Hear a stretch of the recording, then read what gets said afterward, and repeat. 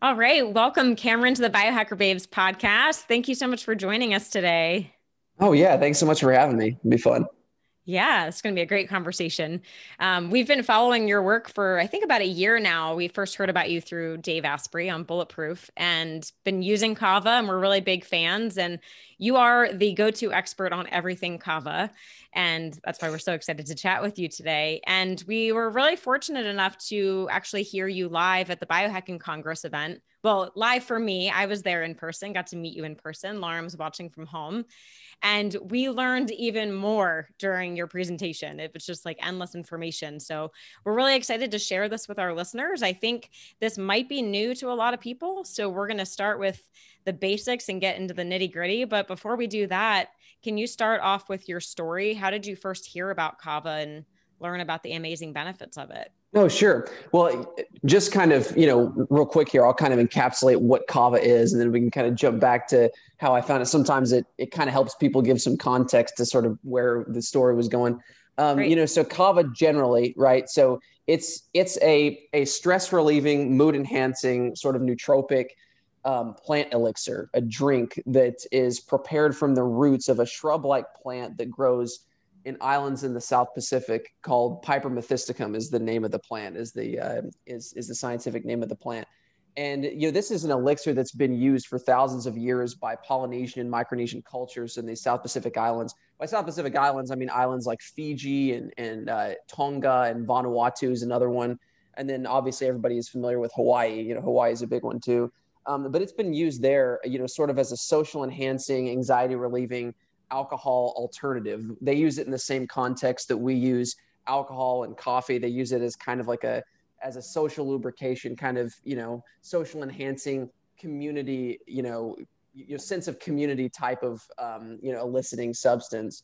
Uh, and right, so it's been used there, you know, in virtually every social context that you can imagine, you know, for for you know close to 3000 years so they use it for weddings funerals spiritual ceremonies social gatherings, and basically any any kind of context where people try are trying to come together and sort of connect and open up and you know to sort of create that tight knit sense of tribalism and community.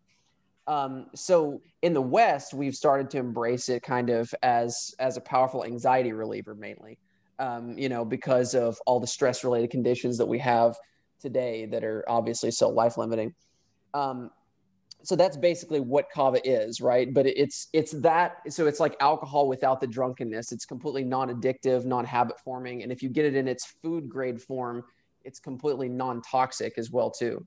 Uh, and there are some caveats to that. If it's sourced incorrectly or the incorrect parts of the plant are used or it's contaminated. So that's basically what kava is right? It's kind of in the marketplace in the functional beverage world it's it's being looked at at this point as kind of like the next big thing when it comes to like a you know biohacking kind of ingredient you know functional beverage ingredient. Um, it's it's really kind of set up to be the next cbd and you know we believe that sometime in the near future in the next few years it's going to it's going to become as common as a cup of coffee and will be you know hopefully fully integrated into modern culture and modern life as sort of a, a, a safer means of um, relieving anxiety and getting that sort of you know social lubrication without all of the you know potentially deleterious effects of, of alcohol and things right? You know especially in the time we live in today that's a very traumatic time in a lot of respects uh, that a lot of people are retreating into various types of addiction. Addiction is going through the roof and you know, mental illness and suicide rates and all that kind of stuff. So yeah. So that's basically what Kava is. I came across Kava really serendipitously through my own pretty severe health challenges. And um, when I was in my early 20s, I got severely sick with what at the time seemed like kind of like a very rare anomalous type of situation, very rare, unexplainable, injurious illness, uh, syndrome um, but now you know, we kind of see these things as being you know incredibly more common, right? Because they're becoming incredibly more common to get you know very kind of unexplainable illnesses that that really at their roots uh, are kind of autoimmune in their origin. Um, you know, an autoimmune just basically means an overactivation of the immune system that comes from too much chronic inflammation. And when I think of chronic inflammation, I kind of think of chronic irritation, um, and irritation from the totality of accumulated stressors that we have in our external environment and our internal environment. So that's physical stressors, psychological stressors, emotional stressors. And we can definitely think of a few of those right today. Mm-hmm. And, uh, you know, we've got all this, you know, contamination, um, you know, and chemical subluxation that we're under um, that comes from our food supply, that comes from our air. And then we even have, you know, new stresses that we're exposed to today in the form of electromagnetic fields, uh, you know, that we're exposed to in, in, you know, increasing amounts as we, you know, use electromagnetism as a way of communicating. Uh, it's, it's still something that's not fully compatible yet with our bodies. So we've got all these different stressors in this sort of modern technological world that we live in. But so I started to get sick. I was kind of one of these people that had what we call the perfect storm, like in functional medicine, uh, you know, happen in my life where, you know, basically I was a young guy. And at the time, it was a little bit more rare than it even is today um, to see someone who is that young get as sick as I did. I ended up near death and completely incapacitated for a number of years. Um, and it, it, happened because of this perfect storm. Like all of the fronts sort of came together just right, and the situation exploded, and the bottom fell out. So by that I mean, you know, factors like genetic susceptibility. I definitely had genetic susceptibility to certain forms of toxicity and, and trauma. I had um, many different toxic exposures, toxic lifestyle habits, including, um, you know, just, you know, stuff in the food, dietary stuff. I was, uh, uh, you know, I was exposed to a handful of various, you know, pharmaceutical drugs that yeah, was prescribed to me by a psychiatrist at the time when I was early college, trying to function um, I had kind of a metabolic syndrome that was going on. So there was a lot of contributing factors to this. And then I had some huge, you know, sort of emotional traumas and things that happened, um, you know, in my personal life too at the time. Uh, so, so all this stuff happened and, you know, you know, like I was saying, the bottom fell out and, you know, I developed some minor chronic fatigue at the time. And, uh, you know, I was, at, at the time I was a, I was a very high functioning, uh, you know, young guy I was I was you know working three jobs. I was I was going to school. I was um, I believe I was a junior in college, and I was a I, I was a collegiate athlete. I was a distance runner too as well, and I was running professionally, you know, racing marathons and stuff too. So overtraining was a contributing factor in my process. Um, you know, that kind of was you know, kind of like the icing on the cake. But I got to a point where I got severely chronically fatigued. Just thought I was overtraining. Sort of backed off for a while. It didn't get better um, you know, fatigue turned into more fatigue, brain fog turned into more brain fog. Then I started having all kinds of weird food sensitivities, reactions, inflammatory stuff, aches and pains. I'm thinking, what the heck's going on? And eventually, I was really unable to function. I, I basically had to withdraw from almost everything that I was doing. When it got severe, it got so bad that I couldn't even, I, I couldn't even, you know, really make it out of bed. I was having severe cognitive deficits and all different kinds of things. So then I got prescribed all these these pharmaceutical drugs. The primary one being you know amphetamine based like ADHD type of drugs to kind of stimulate the brain, uh, which is really a bad strategy when you're already in a metabolic deficit. Just override the system with psychostimulants. But it did, and I I got on those, and it that totally hijacked my personality. Took me into a very toxic downward spiral ended up just kind of like destroying what was left of my life at that time. Um, you know, led to all kinds of things, but also just blew out my nervous system. I ended up in a situation where I was having such severe cognitive deficits post pharmaceutical drugs and this sort of preset set of like metabolic susceptibility um, that I was really unable to drive anymore. I was unable to like leave my house because I'd get confused in, in situations. I was starting to not recognize people in my family. And later on when I started to get into you know, some of the investigatory work of trying to figure out what was wrong with me, because the standard allopathic model didn't give me any answers besides just more symptom control with drugs and and you know uh, allopathic like interventions.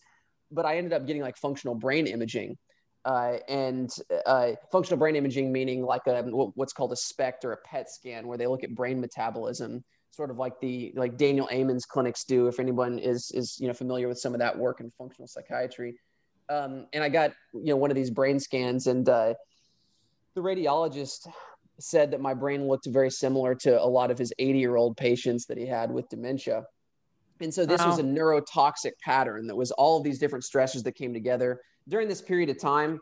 You know, you have the pharmaceutical drugs, you got all the bad lifestyle stuff, a few other bad chemical exposures. I was in a moldy apartment that, that had really bad stachybotrys or black mold infestation in it. Um, and that can actually be, you know, deadly, especially at the level that it was at. I was, I had a bunch of pets at the time, and like three of my pets died in this apartment just from the from this this situation. So you can imagine it was a lot of things that came together, and it started me on this process where I completely lost my ability to function on a basic level.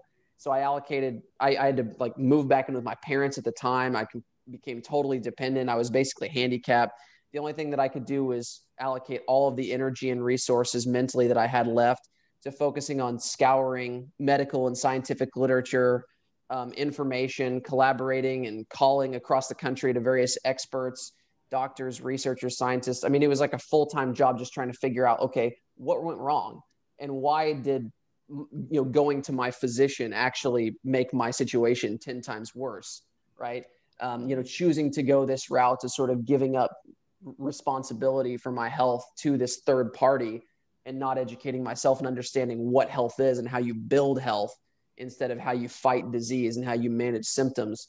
So it was just a change in philosophy that I had to get. And then I had to sort of build this new paradigm over a number of years. So I was basically, it was kind of, it was a blessing in disguise because all of my, um, all of my distractions were taken away from me. And the only thing that I had was, you know, my ability to investigate and to just dig really, really deep and to just suck in as much information as I possibly could. And then I had to use experts to help me arrange it and systematize it. And that took basically a long time. I finally, long story short, things got really bad. I ended up, I mean, they got way worse before they got better because I wasn't finding enough answers quickly enough. I was continuing to deteriorate. And eventually, the reactions that I was that I was talking about got so bad that I was going into like severe anaphylaxis and having multiple seizures a day just from being exposed to different foods. These food sensitivities were turning into full blown like seizure like convulsions.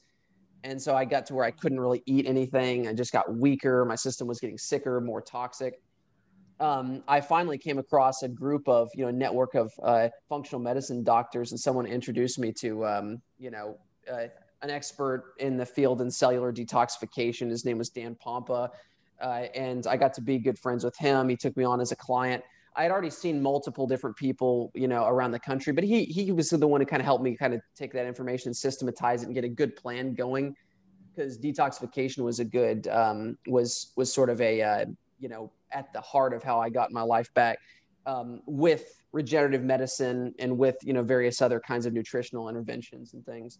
Um, so it was a multi therapeutic approach that I had to assimilate.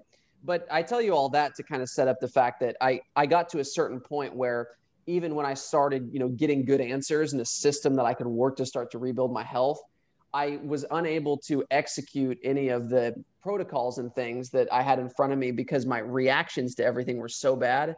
Um, and my convulsions that I was having were so bad, right? And I was having these seizures. And so I was put on heavy doses of benzodiazepine drugs, Xanax, Klonopin, drugs like that, which I was opposed to because I'd already been down the drug route. It had like totally tortured me, but I had to in order to like eat food, you know, to just, uh, you, you know, keep these convulsions under control. And the problem was, is that with pharmaceutical drugs, they don't work you know these these single molecules that don't have any intelligence to them that are just like synthetic um, you know, molecules, which is what pharmaceutical drugs are. Um, they just sort of hack your body and manipulate your body into redistributing its chemistry and using up its stores, basically, right? So that you're not creating any more of these brain chemicals, whether you're taking an antidepressant or, a, you know, a psychostimulant or a benzodiazepine.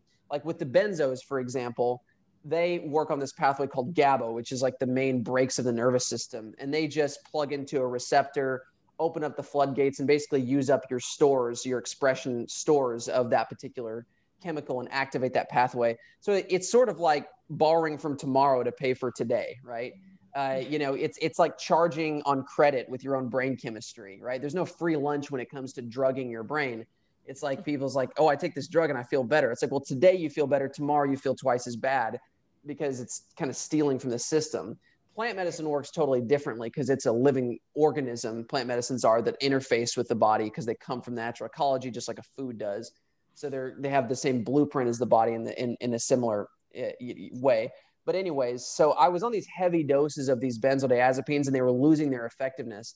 And the problem with benzodiazepines is is they're one of the worst, hardest drugs to get off of in the entire pharmacopoeia. I mean, it's that and opiates. Um, you can actually die from the withdrawals. And I was so fragile at the time that they were keeping my seizures down, but they were depleting that same system. Like they were depleting my stores of that particular inhibitory system, um, which, uh, which, you know, obviously you get to a point where they lose their effectiveness and then your body ricochets in the opposite direction. And the seizures were already bad enough and my body was weak enough from malnutrition that I was already in a state where these seizures could have been lethal.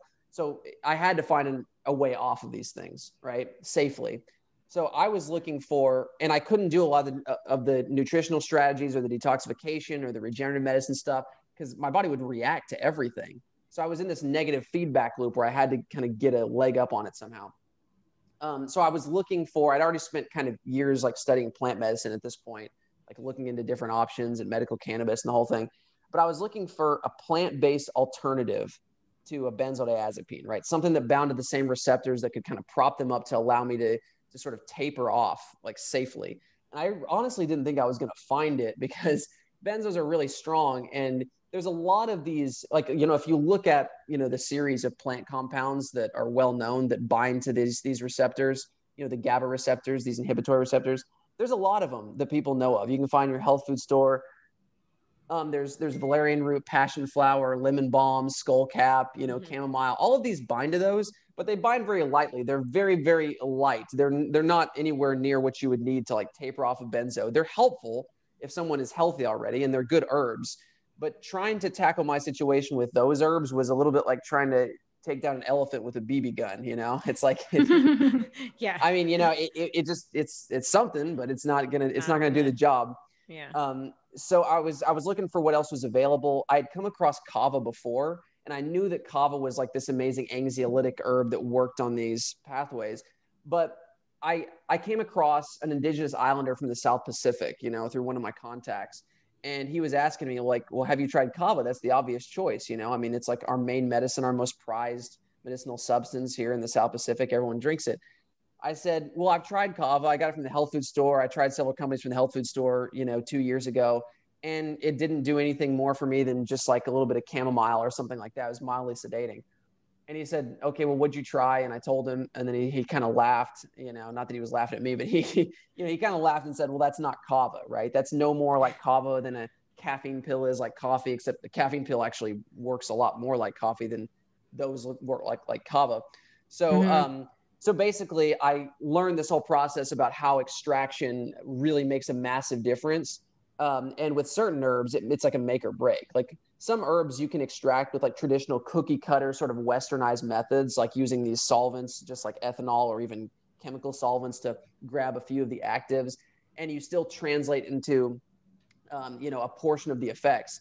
Kava, whenever you extract with solvents, like all of these kava kava capsules in the United States, this this term kava kava is given to what people think is kava but it's it's not by definition kava. Uh, kava is this full spectrum elixir that's produced from the roots of the shrub, and it's produced in a certain way that you get out the you know, you know the full matrix of active synergistic constituents, and they work together to increase bioavailability, absorption, half life, depth of effects. Um, it's just it's a mixture that works in synergy with your body and these solvents that they use like alcohol or ethanol in the in the united states to produce these high yield extracts and capsules they kill like 90% of the effects. So you end up with something that's mildly sedating but you lose the depth and complexity of the kava experience. Because the, the real kava experience is a very psychological experience. It's a very physiological experience. There's a deep kind of relaxation that can come over you with certain strains there's also a mind activation. There's also an entheogenic quality to kava in its traditional form, not in its capsule form, not in that that form you get at the health food store. Meaning that it has effects that are kind of akin to um, what's become really popular in these psychedelic compounds that are becoming popular, except for um, so it, it has a lot of these effects on you know inducing these states of like introspective and creative thinking and bringing out feelings of empathy which is why it's really really good in social context at really opening up and connecting with people but it does it in a way that doesn't take you into an altered state like a heavy psychedelic would. Like it doesn't it's not visual in that sense. So it, it doesn't affect your fine motor skills at all. It's like a, a calm enhanced state of introspective natural sobriety, right? It kind of like, you know, they have a saying in the islands that um, that in in Vanuatu, in the in the in the tribes there, um, the village, uh, you know, the people in the village uh, talk about, and they say that a, a, man who drinks alcohol becomes a beast. A man who drinks kava becomes more of who he really is. So that's they kind of you know say it in that way, and it you know it, it really is true. So the um, I started to realize this pretty instantly when I started actually drinking kava. So my friend from the South Pacific, he started sending me the dried root, or actually sent me some of the fresh frozen root to get the full experience. And um, you know, he was sending it in these these fresh, uh, you know, frozen bags, and he taught me how to prepare it correctly and everything. Basically, kneading it into a bowl of hot water, you know, for like 45 minutes. And It was really messy, and I ended up with this big bowl of like muddy water, right? So it's like it looked really nasty. Um, but I was perfectly happy to to drink that. Like I'll try whatever. Yeah. Oh, sure. Yeah. Yeah. Absolutely. And so I I started using it and was just totally blown away. Like it was like night and day. Like it wasn't even the same thing as what I had tried before. Um, it, you know, in like two weeks of using this stuff, I was like my my reactions, my sensitivities, my convulsions had reduced by like eighty percent. Um, which was crazy because I didn't expect something to work that fast, but it just sort of it activated all these neuroprotective pathways that sort of stopped the um, you know the convulsatory process before it even started. Um, and it's like I had tried CBD and all these other things, and they were they were helpful to some degree, but this really really sort of took care of it. And then after a month of using it, uh, or sorry, after two months of using it, I was completely off of benzos, uh, which is like unheard of if you think about this, because like usually with benzodiazepines, like you have to do a very careful, concise tapering process it, it can take sometimes a yeah. year and a half, and even after that, you're left depleted and not totally the same.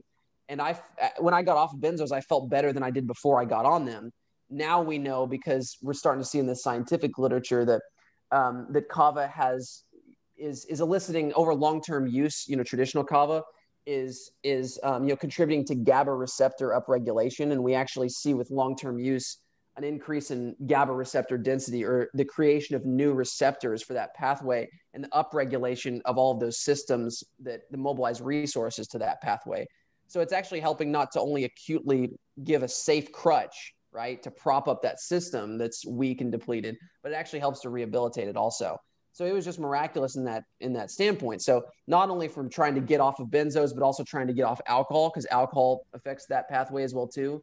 But then also just people who are in these hyper sympathetically dominant states like many or most people are today because they have so much stress and trauma that their body is favored sympathetic and they're very imbalanced they've depleted that side of the system they're parasympathetic this helps to basically rehabilitate or helps the body to re to, to process um, you know that stress and that trauma out via you know these chemical pathways but also puts you into this introspective state that allows you to start forming positive associations with past experiences too, which is another thing that we can touch on, which is why we're getting, you know, Kava a lot of, you know, clinical research in the future for PTSD. We think it's going to be, mm. you know, really great because it basically is a protective substance that the indigenous people have seen as a medicine that helps us process all forms of trauma.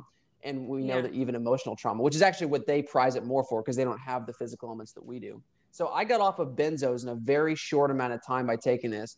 So I was blown away by it, um, you know, and knew that I wanted to, you know, get involved in it because this just wasn't available to people. I started working with this doctors network of these functional medicine doctors as I started to get well because I started to be able to implement all these strategies and got almost completely well by really aggressively going at it with detoxification, nutrition, and then I got into regenerative medicine, stem cells, hyperbaric oxygen, these things, mm. and really tackled my situation. And in three years, I was I was a good 70, 80% back, totally fully functioning again. It was, was, was very miraculous in of itself. My, my, you know, you know, everything cognitively came back. I mean, this took time. This was a long period of time, but, but, you know, I was able to do it. And Kava was an amazing leverage tool that allowed me to, you know, to do all these other things.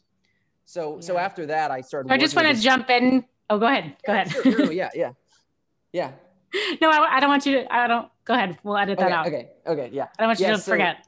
Okay, yeah. So so I started. Long story short, I started working with this network of functional medicine doctors. They brought me in uh, to start, you know, developing product, designing protocols, and in, in various things, and you know, you know, being involved in the research side of things. And I started doing research for various influencers in the field, uh, you know, for their books and doing a lot of writing, freelance stuff like that. Knew that I wanted to get into the supplement space on my own. I wanted to kind of start this project of trying to, you know, formulate a um, a, a plan to bring kava and advocate for you know safe traditional kava use uh, in the modern world and try to integrate it into not only you know the functional medical uh, and biohacking space but also just in modern culture right? In the in the standard retail space. Now that was a big undertaking. So it took me the better part of from the time i started it probably six seven years to build the fabric of what would eventually become Tru Kava.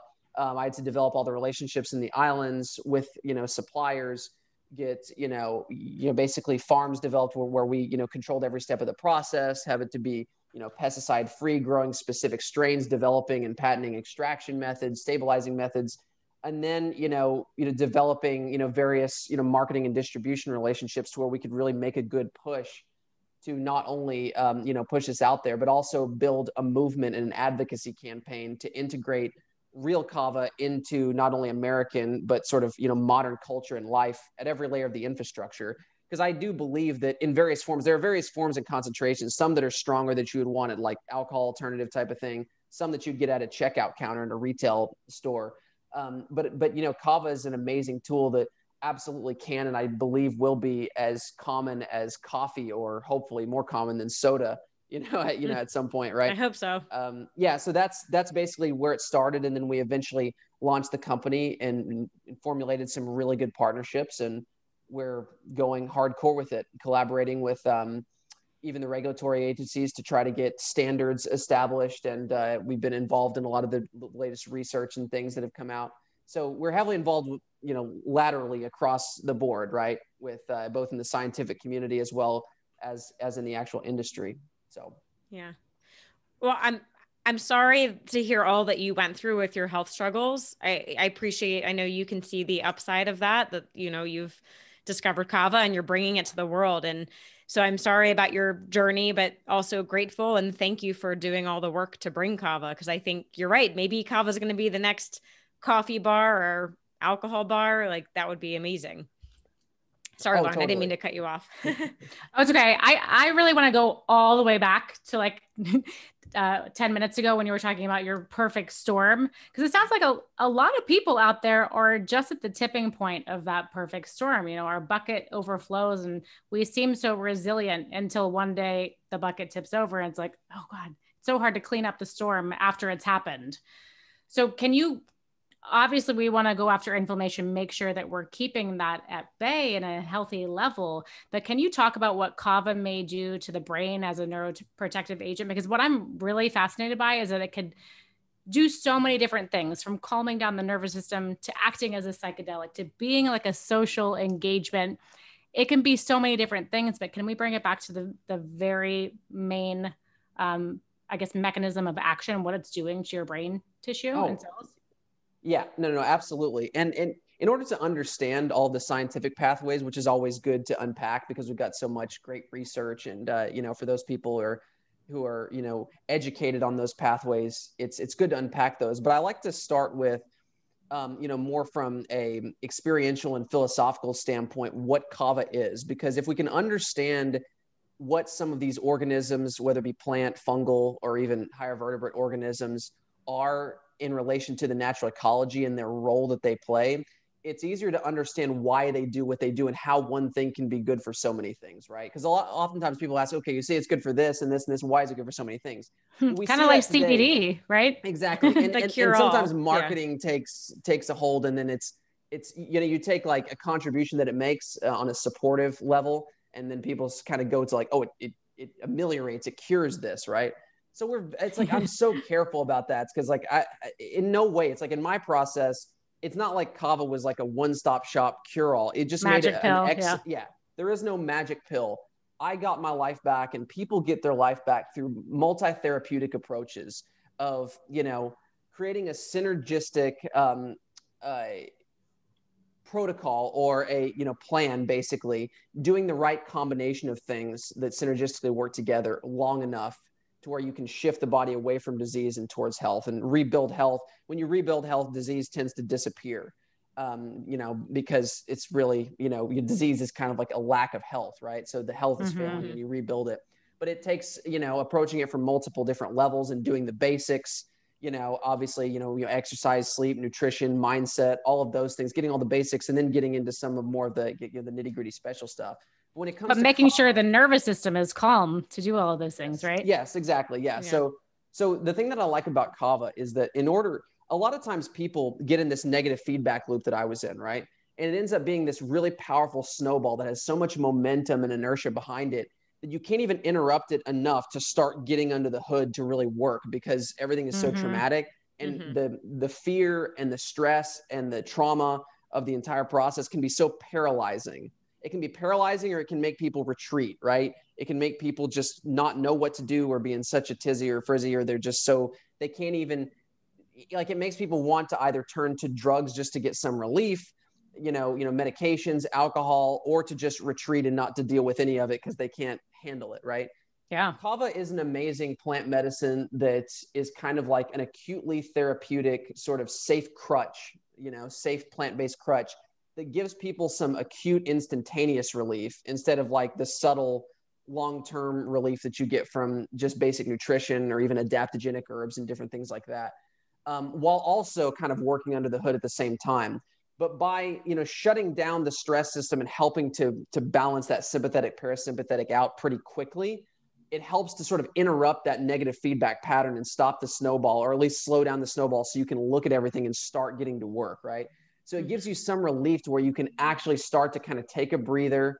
You can get, you know, your mood elevated. You can feel better. You can get more energy and motivation and mental clarity and relaxation because that's really what kava is about relaxation mood and mental clarity if there are three things that kind of encapsulate the kava experience and then the and then the introspective stuff the psychological stuff but the state that it puts you in is kind of a state of calm enhanced focus so good kava actually isn't just like a sedative like a benzo will just shut off your brain kava relaxes you while engaging you at the same time so which is great because that's where you want to be you want to be in this kind of calm focused alpha state to kind of get into your maximum level of creativity that's actually going to get you out of your circumstances where you can get out of that sort of beta stress frantic panic state and not be in mm-hmm. like dead delta you know totally crash state either yeah you yeah, know yeah. so so yeah so it's it's a great tool for helping to get the body and the mind into that state which is why it's just such a great sort of first intervention. And you know not to mention um, you know, if if you're like a functional medicine practitioner or a health coach or anything, you're trying to help, you know, patients or clients, it's a great thing that you can give people that they see results instantly and it keeps them interested. Because a lot of times uh, these this multi-therapeutic approach the sum of all the subtleties that get you well all the little things all, all the details um, they take time to execute and to implement and it takes time to see some effects if you can give them something that's natural non-addictive and that they see results off of it can allow them to take a breather. They'll be able to to process more of what you're telling them, to listen to you. They won't be in this state where they can't do and they're paralyzed by things. So it's a great it's a great sort of introductory sort of you know medicinal substance that kind of helps to interrupt take that the pattern. edge off. And yeah. and it, so so it does that. I was talking you know you know philosophically from the ecology.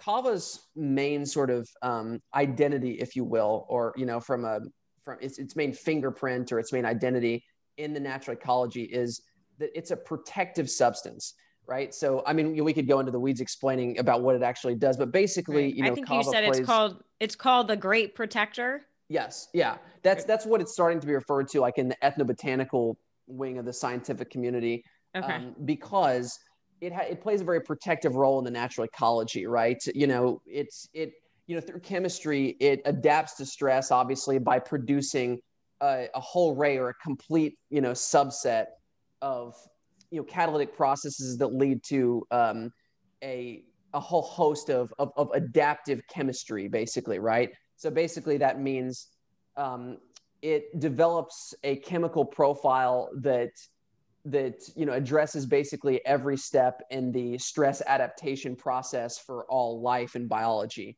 and that means everything from plants that's also compatible up to higher vertebrates. So basically, what that means. It, it develops the chemistry and the signals that help mobilize an adaptation to stress, right? So it's mm-hmm. it, it, you know same in our body. You know, we, it's like you know, whenever we get you know confronted with stress, our body kicks out a lot of these inhibitory chemicals, serotonin and endorphins and dopamine. Like whenever like we're we're running on the treadmill or we're lifting weights, you know, you get that kind of release of endorphins to kind of like adapt to the pain, right? And you know these plants do the same thing, but some plants play a more protective role to protect you know, you know, basically, you know, through their their plant defense compounds, other plant compounds and fungal compounds in the area, and other animals as well.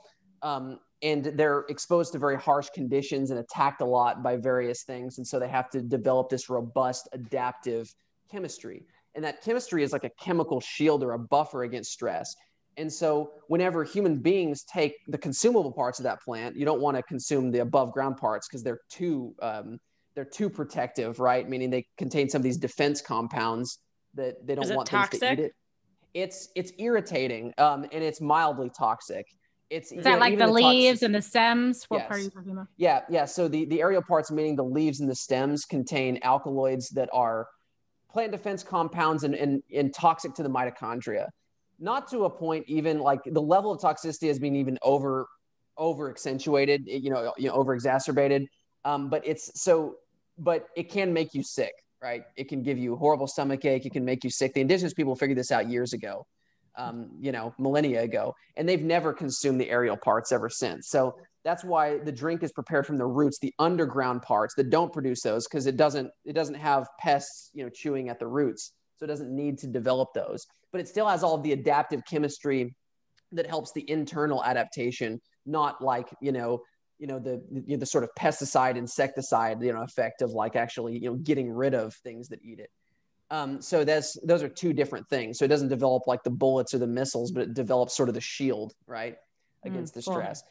so so you know the roots and even the basal stump that comes right above the ground eh, are the consumable parts of the plant so basically whenever human beings consume that it transfers that chemical shield or that chemical adaptability to you right from one organism to another which is hmm. really amazing how that works. So okay, so how that plays out yeah. in in the science is is that all of those pathways that are adaptations against various forms of stress hormones, um, you know, you know, excitatory processes, inflammatory processes, you know, kava hits on virtually every one of them across the board because it's a complete biological organism that's creating that adaptation, and we're a complete biological organism. So it doesn't just develop it for one pathway like we would if we created a pharmaceutical drug it develops protection across the board, cellular and neural protection across the entire biological spectrum. Okay. So the main pathway that is most well known for hitting is that GABA pathway. Now, GABA is protective because it opposes glutamate,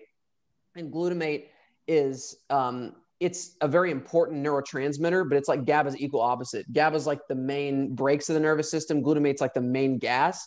Glutamate's important, but it's very carefully regulated. Um, mm-hmm. if it gets too overexcited, it starts to burn out everything in its path.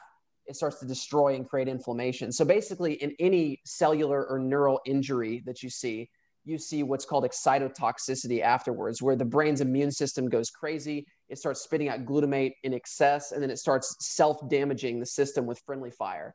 So, glutamate is very important to keep under control. And that's what's involved in seizure activity. When the system is unable to balance itself from too much irritation, stress, trauma, then it ends up overexpressing this glutamate pathway and sends the system into convulsions, basically shocks it basically to death and starts doing damage. So GABA opposes that. So GABA is protective by shutting down too much excitation that creates damage, right? That storm in the system, right? And it shuts down the stress hormones like cortisol and adrenaline that when chronically activated start to harm the body and, and make it hypoxic and do damage and accelerate the aging process. So there's the hmm. GABA pathway it also is an ion channel blocker, like which is the exact mechanism that most anti-seizure meds work on. So ions like sodium and calcium channels, um, when you get an influx of those two things into the cell, which is activated by glutamate and this whole like reactive process, inflammatory process, um, you get an influx of these these minerals into the cell, um, these ions that uh, that excite the cell and cause inflammation, cause hydroxyl free radicals, and even you know we know now with uh, exposure to electromagnetism electromagnetic radiation like microwave radiation cell phones and everything we know from you know you know this gentleman named martin pall's work that uh, one of the main mechanisms that it damages the dna is by activating this influx of calcium into the cell overexciting the cell and creating all this stress and causing this this dna damage. Um, so yeah, so basically, kava acts as a GABA receptor modulator, an upregulator, without depleting it, upregulates and renourishes that system. It blocks um, the overaccentuation of this calcium and this sodium into the cell. It also is a COX1 and COX2 inhibitor, um, you know, mainly COX2, mm. which is the same mechanism that uh, non-steroidal anti-inflammatories work on, except for it's not toxic to the kidneys or the gut lining like these drugs are, which is why you have to be incredibly careful mm-hmm. with them. Mm-hmm. So it's anti-inflammatory. It's also what's called an NRF2 upregulator, which is an adaptive hormetic pathway. So it stimulates your body's natural antioxidant systems, like you know glutathione peroxidase, catalase, and superoxide dismutase. Um, so it stimulates your body to pump out and uh, it start to express all of these natural sort of antioxidant type of, of uh, systems. So those are just a few of the pathways um, that, you know, from a, a, a, neuroprotective and a tissue protective um, standpoint, help to kind of create this biochemical shield that helps to protect us from, from the damaging effects of stress. So whenever we're confronted with stress, it does less damage and it sticks less as a pattern in our system and freeing us up from that, it also takes us into this psychological introspective alpha state where we can start to reflect and form new new neural pathways um, that are linked to positive associations with our past experiences because of how it's increasing serotonin and all this other stuff. So it's helping not only to reduce the damaging effects of physical, psychological, emotional, and chemical stress, because emotional stress becomes chemical, becomes cortisol, glutamate, all those things, but it also helps to mm-hmm. process the patterns that are locked in there um, and to help our, our, body process the trauma, which is actually something that the mm-hmm. indigenous people have been talking about for millennia. They don't, you know, talk about it in scientific terms. They don't use these terms of these pathways, right? right? They have different language, but they see it more of a as as a psychological medicine than they do a physiological because they don't have the kinds of stress related massive illness that we do. Like they live yeah. very close into the natural ecology. They're tight communities. They don't have the kind of depression or anything that we have. Um, they don't have all the glyphosate and the in the pesticides and all this kind of stuff. But what they do have, just like anybody else, is that they they are interested in developing themselves uh, and you know developing the the um, the fabric of their communities, and they see it as when someone has psychological issues, someone who consumes kava over a long period of time becomes more introspective, more empathetic, um, and you know connects easier with others, and it tends to hmm. complexify um, the the the the um, the the range of thought patterns that a person has, just like most entheogens do. A lot of people in Silicon Valley and business owners and things are starting to use microdoses of psychedelics because they increase this connection between left and right hemispheres of the brain. So they elicit and allow for more of this what, what I call systems thinking. So um, you know that that connection between left and right brain, you know, the rational, systematic, analytical part, and the introspective, open, um, you know, sort of visionary part um, is very crucial into being able to see the big picture in reality instead of being homed in on your immediate reactive day-to-day step-by-step circumstances right? Being caught in the rat race and the hamster wheel which we all tend to do because there's a lot going on and stress puts you in that state where you're just reacting. Um, psychedelics and compounds like this that help and even meditation and other practices allow you to sort of step back and see the big picture and reflect and you know be able to sort of access the trajectory of all of your not only memories but also the trajectory of your life and to kind of see it just like um, like an architect would look at like at, at a schematic right? And you can say oh, mm-hmm. oh well that's not good. I don't believe that. I was totally off base there. What's going on there? You know so you can kind of look at it like that. And and you're just very you're more honest with yourself. It's it's you know under these kind of states. And so the indigenous people like you know, for, you know, for example, they have a rule in Vanuatu, like the chief who still has kind of reign over the, you know, he kind of has say in the village. Um, if there's a dispute between two parties in the village, they're forced to sit down and settle it over kava.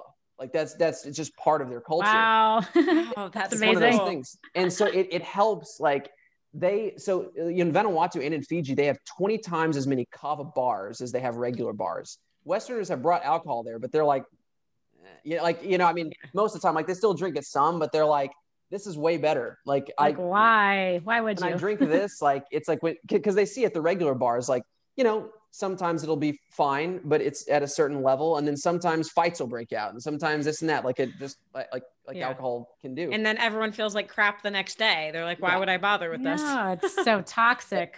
and you'll never physically, a, emotionally. You, you'll never see a fight break out at a kava bar. That will not happen. You know, I mean, it. You know, unless someone's not drinking kava there. Uh, yeah. You know, it's, it's just one of those things that like it's so it's there's nothing like it because it leaves you feeling totally sober like you don't feel like you're out of control at all like you know multiple studies have been done looking at you know you know individuals faculties their their ability to drive and you know if you go really high crazy doses you could be a little distracting you may not want to drive for like 30 minutes but like you know for the most part hmm. it's it leaves your faculties intact and you're not in this state where you're saying things that you're going to regret or doing things you're going to regret in fact you you feel more like yourself and some of the best conversation I've ever had has come like during kava sessions and maybe with other plant medicine too but it just it absolutely opens up this line of connection and communication that's just very authentic very genuine and just leads to not only a great reflective process for yourself um, but also starts to build these pathways through keeping you in this perspective regularly um, that's more all inclusive uh, you know so it's yeah. it's it's really amazing in that sense I have to say, the first time that I tried it, and I didn't know at the time what it was. I'll keep this short because our audience has heard the story so many times. But I tried it in Hawaii because I didn't want to drink one night, and I saw it was like their mocktail. I had no idea. I was not able to drive. I got in the car. I was like, "This is not going to happen." but I really, I felt amazing, and the next day I felt amazing. So uh, yeah. it's, I understand the power of it, and I just think in in this day and time, so many people can use that um, from a psychological perspective, like you said, I know you've said healthy individuals make healthy societies. Like if we could mm-hmm. send this to the masses, we could really do some powerful healing. Do you feel like that is uh, a practical wish, I guess? Absolutely. I mean, that's part of why we're so passionate about this particular project. I mean, I'm involved in several you know projects and involved in you know product development in several um, you know areas of the market and have a lot of things that um, on the in the pipeline. You know, your things I'd like to do, but this project is very important to me because nobody's doing it right, and there's a lot of overlapping pieces that have to be put together for it to be done right and popularized. It needs to be done. Sure. Kava can be screwed up so easily, and that's why it hasn't already exploded. That's why that's and you know in mm. you know cannabis can too that's why cannabis it took so long for us to finally get this story right oh this is cbd this is marijuana this is it took right. us how many decades to get to there and right. it's like we had to overcome all of these negative connotations and and yeah, people, are still afraid of it. Yeah, and yeah, it's, like it's just context matters, right? It's like you know, um, eh, you know, it's like you know, first of all, it's like it's it's it's an important conversation with kava, just like with cannabis or any other plant medicine. When people ask about kava, it's like you have to be clear about what you're talking about because with kava, you have to be clear on the form. Okay, is it actual kava? Is it the traditional prep? And then two is is what strain are you are you consuming and in what amount as well because there's over 200 different strains of actively used kava so like you're saying wow. especially if you're on the more sensitive side of things you get a really strong shell from the islands um, there are some strains of, of kava that are that are more heavy that you may want to you know just kind of sit and relax for a little while before you do anything because they can be pretty darn strong uh, but mm. you know most of the of the noble daily use strains are are more controlled than that um, and they just have a different effect that you're highly productive. It's kind of like the opposite. You're highly productive whenever you use them. So there are some strains that are more daytime strains and some strains that are more nighttime strains. They all affect the GABA pathway. Some also affect the dopamine pathway more, and those are more daytime strains. And some are heavier on some of these other pathways. But they all they all are are anxiolytic. Um, but just some will actually like put you to sleep. Some will just calm you, but not put you to sleep. Some will calm you and activate you and get the wheels turning in a very social way. So there's just like with cannabis, there's a hmm. variation of different strains and concentrations as well too. So what we're trying to do is to try to take the ones that are most, you know, the mixtures that are going to appeal to the most number of people and to standardize that and then create specialty forms because we don't want to confuse people or oversaturate it. It's kind of like introducing something into the market that people can call kava. We're using the strains that are that are most lucrative to the highest number of people that can be most highly tolerated. We keep it within a certain. We develop standards of a chem, of of you know chemical fingerprints we call chemotypes that we keep it within a certain standardized range that we can say, okay, well this is the baseline that's most tolerable to the most number of people. Um, and then we standardize that and then we go from there and we've got a whole classification system that we've gone from there but yeah. the the first couple of products that we developed are actually not that full blown effect as much that like you experienced in Hawaii or even the full blown effect of a kava drink. They're more controlled, and so like like the oil that we developed is something that we specifically developed it to be more of a tonic, like you could take any time of the day, all ages, under any circumstance. It more runs in the background, and you can put it in your coffee. The coffee enhances the uptake, helps even with like intermittent fasting because it helps to suppress appetite and all this stuff and stimulate you know ketogenesis and stuff. That's and that's kind of another thing. But the oil is more of like an all-purpose kind of food thing, just kind of like MCT, right? We still has the the broad spectrum effects of kava, but just at a depth and concentration that's very tolerable. So um, you could take it morning or night and yes. be fine. And the strain that we use is one that's like in the middle, right? So it's not sedating, but it's not overly activating as well. It's in the middle. Mm-hmm. That calm focus is what you're going for. And with that yeah. strain, can you modulate your experience depending on what you want? With with that, um, like depending on the dose or time of day, like you can take the same strain, and depending on how much you take, you can change the experience.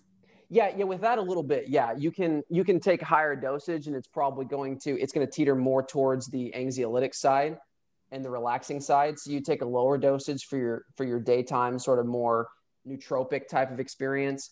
Um, but for the most part, it's a very balanced strain that's almost kind of adaptogenic in the nature that it does more at different times of the day depending on what your body's mm. doing. Um, But uh, it's it's probably you know people like it the most probably like afternoon to like early evening probably. That's probably when people like it the absolute most although there's plenty of people that take it in the morning or multiple times a day. With that strain it's a strain from vanuatu that's extremely versatile in that regard so it's really good. We actually are fixing to release our what we've sort of been building up to for a bit which is our drink and shot line. We have a shot right now um, that's like a five hour energy shot, but just it's you know, kava basically. I got to try uh, it. Yeah, it's it, it's a step above you know the oil, but it's not nearly as strong as what we have coming. What we have coming is comes in a shot form and a drink form. It's going to come like in 12 ounce cans and glass bottles eventually. Uh, so it's going to be like what you would get instead of a beer or in, instead of a, a, a kombucha in, in some circumstances. Hmm. It's like the full effects of what you'd get at a kava bar, right? Um, mm. So, but in a stabilized, carbonated flavor, like it tastes really good. Like it tastes like a you know a carbonated drink with like no added sugar. So it's like it's like keto friendly and all of that. Um, and so it's it's like great. It's very hard to stabilize kava. You prepare it, and the effects can dissipate within a few hours or start to grow bacteria and different things. And so, and to get the taste out to where it doesn't taste or feel like muddy water in your mouth, um, for it to actually be a yeah. lucrative drink was there's quite a bit of R and D in that so this next month we're going to be releasing these drinks and that's that's going to be more of like the recreational you know highly medicinal effect that you get from kava we've got you know a supplement mm-hmm. product too that's a concentrate that will be in a capsule that is traditional kava in a capsule that will be on the horizon as well too. So we have these kind of like food drink supplement that we're that we're trying to focus on and then we have r&d for other forms but we're trying to stay focused as we're popularizing it so people don't get too confused with forms um, and we're trying to standardize a balance form and then specialize into specific forms for like medical application as we go farther into that into the future. Um, but as we're trying to popularize as a lifestyle brand, we want it to be people refer to kava, they're referring to kava, and we have a standardized form of it to where people aren't so confused by different strains and things, you know, um, just from an optic standpoint, uh, so people can get it. Uh, but we will have those available, those specialized forms in the in the future going into it, because we're involved in a lot of the research on dialing that in for clinical application studies, practice, and stuff like that. So it's exciting. That's really exciting. Yeah, I can't wait to try like the bigger drink. Um, I I tried the energy shot and I liked that I got like a really nice clean energy um, at Biohacking Congress. But I'm excited for the drink, so definitely have to stay tuned on that. Oh, the drink is yeah, the drink is really like from a all, all, those effects that I was talking about as far as like the kava bar type of effects, the the safe recreational alcohol alternative effects are really where the drink like really shines. Like that's that's like really like which you can adequately like it's really the only substances it's it's really the only natural substance that really delivers as like an alcohol alternative, right? Like you could actually drink mm-hmm. it like you would drink alcohol and be like and if it hits with you well and you build it up long enough it, it, that it can you know for me i i prefer it right you know so it's it's uh yeah so it's those yeah. effects are extremely exciting just as a safe alternative you know um you know for the marketplace but as yeah. as you were asking about kava's contribution like to um to the modern world and sort of globally. That's something that uh, this company is founded on that I truly believe in because, um, like you know, you had mentioned I I had said before, and I have have said this a lot, in, you know, various podcast interviews and things. Um, you know, historically, when we look at at anthropological accounts of you know various cultures across history, especially hunter gatherer cultures that lived closely, more closely to nature and natural ecology and the planet, but even indigenous cultures today, you know, basically, um, you know, they all have their forms of, you know, uh, stepping into altered states of various types, right? Uh, and yeah. a lot of it with help of certain natural substances, right? So the altered states that that cultures tend to embrace as their main form of of socializing, relaxing, or building a sense of community. All cultures have them, but you know the cultures who uphold um, you know altered states that uh, say are are plant based in nature or plant medicine related. Um, you know, tend to be much more mentally healthy, and you know the highest values and aspirations of a culture are greatly contributed to by the altered states that they choose to engage in. Right. Um, so, for example, you know cultures that heavily embrace say like alcohol and stimulants as their primary two ways of eliciting altered states for socializing just have a different you know generally develop more of a of, of a value structure that's not as in line with um, you know a deep sense of community nature the natural ecology all of those things even though that stuff still exists because it's an it's an innate desire of ours um, it tends to go more towards sort of the workaholic rat race type of mindset and more of the primitive because those substances bring about more of a primitive state of consciousness in high dosages, right? You know, your alcohol can be okay in certain dosages. It just kind of loosens you up and everything, but you get over a certain amount, behavior becomes more primitive and you become sort of less introspective and you can make less sense of things and it kind of activates more of the reactive primitive drives you know all of them right you know yeah. and, and, and conversation just becomes more kind of uh, well, stupid, you know, primitive, it, just becomes yep. simple, right? It's not, if there's not much depth to it after a certain point, right? Right. Very surface you know, level. Yeah. And, and, you know, stimulants, especially like the, the synthetic stimulants put you in more of a beta state. That's more of like an analytical left brain sort of rat race, sort of get the job done type of state. And they suppress creativity and sometimes suppress even empathy and introspection because they take you into that very beta high stress reactive kind of state if you're if you're into it too long there's a time and a place obviously for coffee and different things like that but especially the stimulants that we use pharmaceutically and a lot of things they can you know elicit kind of those things now so if yeah. you look at cultures that say embrace plant medicine like in the amazon like ayahuasca or psilocybin as their main way that they move into altered states together and connect with one another their value structure usually resembles something of um, highly valuing the natural ecology, for example, highly valuing personal relationships, highly valuing you know a sense of community or a, a, a tight knit sort of tribe. Um, or a sense of like you know you know the other taking care of one another. There's just a sense of interconnection that's deepened by those altered states right? You know because yeah, it, you know, they move people into these sort of you know deeper aspects of themselves. So you know so basically you know, you know, the psychological health reflects that too, obviously, because cultures that embrace those kind of altered states generally have lower rates of depression and mental illness and mental neuroses. Um, and, and you know, sometimes they, they virtually have no depression at all, um, especially in hunter gatherer cultures that we still see today. So, you know, so basically, you know, healthy minded cultures build healthy societies, obviously, because everything starts with perspective, mindset through which we collectively engage in, you know, a process moving forward, you know, together in life and on this planet. Uh, you know, so obviously anything that we can do to move away from the things that are inhibiting that, obviously, inhibiting sort of escapist mentalities, victim mentalities, you know, and em- empowering introspective, um, reflective mentalities that elicit a type of honesty, authenticity, and a sense of personal responsibility because we're forced to actually look at our internal circumstances instead of run away from them you know anything that accentuates those states of consciousness is going to contribute to positive neurological and perspective development uh, and you know, you know individuals collectively um, will i believe will start to uh, you know reflect that more and more so i think kava yes. is one of those tools that if you if you integrate it into every layer of the infrastructure just like we do alcohol, and you have people in these states more often, then I think you're going to get a net positive result from that. That's awesome. Yeah. Cameron, Gosh. thank you so much. This is so wonderful. Um, I think our audience is like, we're going to buy it right now. We need kava. it is so, so fascinating. We're going to send our audience to your website, of course, but we like to end our interviews with one final piece of advice. If we could simplify and give our audience just one thing they could start doing today to optimize their health potential, could you share that with us? Yeah, you know, one thing, um, let's see.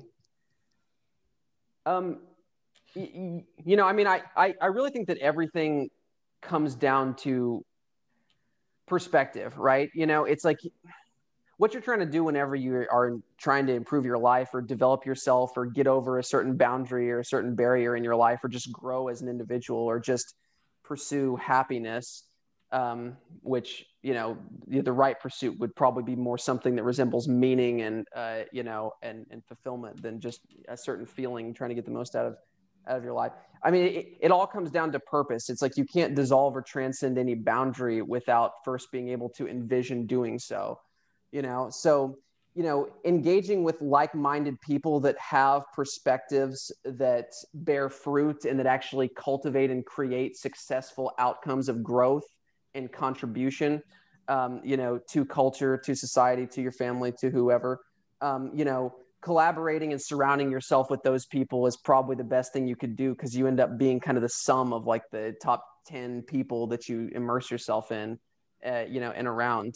And, uh, you know, I really think that, uh, you know, it's, it's, you know, what you accumulate in life will never make you happy, right? I think, you know, most people that have been down any of these roads, you know, and chased them down kind of realize that who you become and what you contribute will make you happy or they will make you fulfilled. And so surrounding yourself with those people and doing everything you can to cultivate a perspective that's in line with personal growth, personal responsibility, pulling out your weeds, taking out your own internal trash, addressing your issues, overcoming them and growing so then you actually have something to give you know growing will make you happy and fulfilled giving will make you 10 times as happy and fulfilled right? And so i think that that's really really probably the best piece of advice is just to pursue to pursue meaning instead of happiness right? To ask yourself what you want out of life instead of you know how can i feel good right now um, or what's comfortable right now? Because oftentimes what's comfortable is what's going to inhibit you from growing um, and so that's really relevant to this conversation. Obviously, we're talking about Kava. Kava is a tool to help you do that, but you know, doing the work is extremely important. Anything that you can do to your life to start working on yourself and dissolving those boundaries that keep you from being, um, you know, at your highest potential, you know, is it's worth yeah. doing. Life's worth living that way. So that is beautiful Definitely. advice. I love it.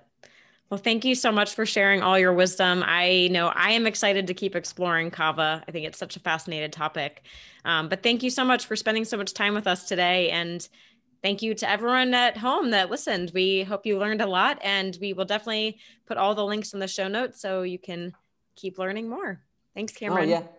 Yeah. So it seems so like you're Tru Kava across the board. Trukava.com is your Instagram. Also, yeah, Tru Kava. Yeah. yeah, yeah. It's T R U, not T R U E. T R U kava.com. Uh, all the stuff is there. Find us on Facebook, Instagram, any of that stuff. So excellent. All, all right, right, everyone. Thank you so much for tuning in, and we'll see you next time.